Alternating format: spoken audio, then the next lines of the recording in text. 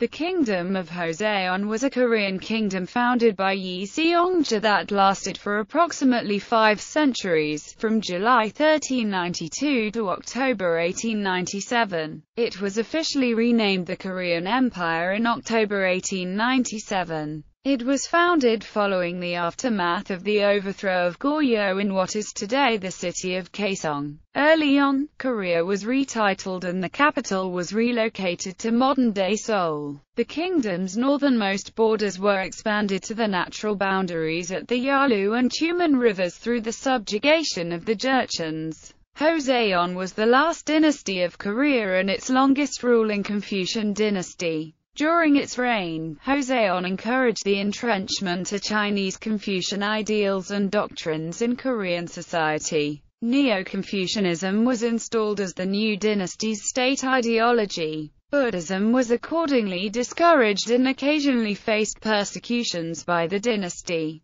Joseon consolidated its effective rule over the territory of current Korea and saw the height of classical Korean culture, trade, science, literature, and technology. However, the dynasty was severely weakened during the late 16th and early 17th centuries, when the Japanese invasions of Korea and the First and Second Manchu invasions of 1636 nearly overran the Korean peninsula, leading to an increasingly harsh isolationist policy for which the country became known as the Hermit Kingdom. After the end of invasions from Manchuria, Joseon experienced a nearly 200-year period of peace. However, whatever power the kingdom recovered during its isolation further waned as the 18th century came to a close, and faced with internal strife, power struggles, international pressure and rebellions at home, the Joseon dynasty declined rapidly in the late 19th century.